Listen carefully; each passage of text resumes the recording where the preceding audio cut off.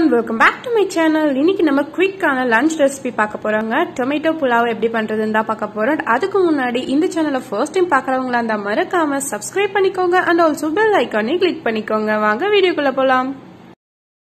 தக்காளி சாப்பாடு செய்ய தேவையான பொருள் பார்க்கலாங்க. பெரிய வெங்காயம் ரெண்டு எடுத்து இந்த மாதிரி கட் பண்ணி வச்சுக்கோங்க. இந்த அளவுக்கு புதினா எடுத்துக்கோங்க. கொஞ்சம் கொத்தமல்லி எடுத்துக்கோங்க. கருவேப்பிலை கொஞ்சம். ரெண்டு பிரியாணி இலை எடுத்துக்கோங்க.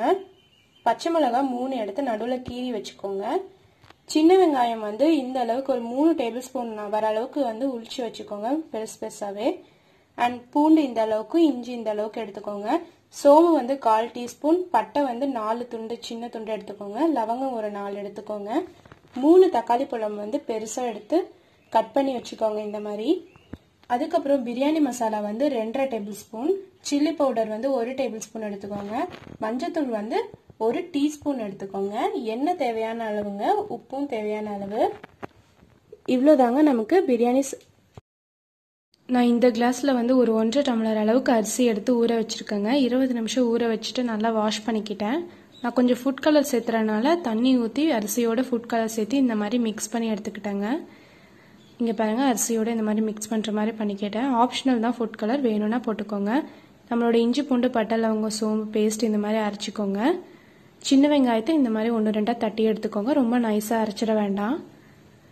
இப்போ ஒரு ப்ரெஷர் பேனில் ஹீட் ஆனதும் அரை கப் அளவுக்கு எண்ணெய் ஊற்றிக்கோங்க எண்ணெய் காஞ்சதும் பிரியாணி இலையை ஆட் பண்ணிக்கலாம். அது கூடவே மூணு பச்சை மிளகாய் ஆட் பண்ணிக்கலாங்க. கொஞ்சமாக புதினா தலை ஆட் பண்ணிக்கலாம். கருவேப்பிலையும் ஆட் பண்ணிக்கலாம். இப்போ நம்ம வெட்டி வச்சுருந்த பெரிய வெங்காயத்தை ஆட் பண்ணிக்கலாங்க. உப்பு கொஞ்சமாக போட்டுக்கோங்க. நமக்கு அப்போ தான் வெங்காயம் சீக்கிரமாக வணங்கும். நல்லா வந்து வணக்கி எடுத்துக்கோங்க. ஓரளவுக்கு ப்ரௌன் கலராக வந்தாலே போதுங்க. இந்த ஸ்டேஜில் நம்ம அரைச்சி எடுத்து வச்சுருந்த இஞ்சி பூண்டு பட்டை லவங்க சோம்பு பேஸ்ட்டு போட்டுக்கிட்டோம். நல்லா வந்து பச்சை வாசனை போகிற அளவுக்கு வணக்கிக்கோங்க. வணக்கினதுக்கப்புறம் ஆனியன் பேஸ்ட்டை ஆட் பண்ணிக்கோங்க. ஆனியன் பேஸ்ட்டும் பச்சை வாசனை போகணுங்க. அதனால நல்லா வணக்கிக்கோங்க. இந்த அளவுக்கு வந்ததும் நம்ம வெட்டி வச்சுருந்த மூணு தக்காளி பழத்தை ஆட் பண்ணிக்கிட்டோம். தக்காளி பழம் கொஞ்சம் பெருசு பெருசாகவே கட் பண்ணுங்க. அப்போ தான் சாப்பிடும்போது கரெக்டாக இருக்கும். தக்காளி வெந்துருச்சு. இப்போ நம்மளோட மஞ்சள் பொடி biryani masala chilli powder add பண்ணிக்கலாம். நல்லா வந்து மிக்ஸ் பண்ணிக்கோங்க. உப்பு கொஞ்சம் சேர்த்து நல்லா மிக்ஸ் பண்ணிக்கோங்க. நமக்கு மசாலா வந்து எல்லாம் ஒன்றோட ஒன்று சேரணும். ஸோ நல்லா பரட்டி விட்டுக்கோங்க. பாருங்கள் தக்காளி நல்லா வெந்துருச்சு. இந்த ஸ்டேஜில் நம்ம அரை கப் அளவுக்கு தண்ணி எடுத்து மிக்சி ஜாரில் போட்டு அந்த தண்ணியை இதில் ஊற்றிக்கலாங்க நம்ம மிக்சியில் பேஸ்ட் அரைச்சிருப்போம் இல்லைங்களா? அதோட எசன்ஸும் இருக்கும். ஸோ அதில் தண்ணி ஊற்றி நீங்கள் இதில் சேர்த்திக்கோங்க. பாருங்கள் கொஞ்சம் கிரேவி மாதிரி நமக்கு வரணும். இந்த அளவுக்கு நீங்கள் கொஞ்சம் தண்ணி ஊற்றிக்கணும் நமக்கு நல்லா கொதிக்குது. இந்த டைமில் நம்ம ஊற வச்சுருந்தா அரிசியை ஆட் பண்ணிக்கலாங்க. அரிசியை நல்லா வந்து மசாலாவோட பரட்டி விட்டுக்கோங்க.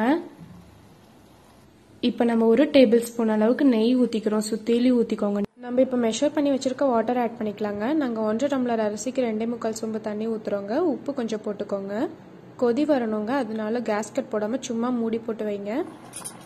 இப்போ பாருங்கள் நல்லா கொதி வந்துடுச்சு இப்போ புதினா கொத்தமல்லி மேலே தூவி விட்டுடலாங்க ரெண்டு பெரட்டு பெரட்டி போட்டதுக்கப்புறம் ரெண்டு பெரட்டு பெரட்டி மூடி வச்சுக்கோங்க. ப்ரெஷர் குக்கர் போட்டு நல்லா விசில் விட்டே இறக்க போகிறோம் இப்போ நமக்கு ரெடி ஆயிடுச்சு ஓப்பன் பண்ணி பார்த்துடலாங்க பாருங்கள் எவ்வளோ நல்லா வந்திருக்கு. இப்போ நான் உங்களுக்கு பவுலில் ட்ரான்ஸ்ஃபர் பண்ணிவிட்டு காட்டுறேன்.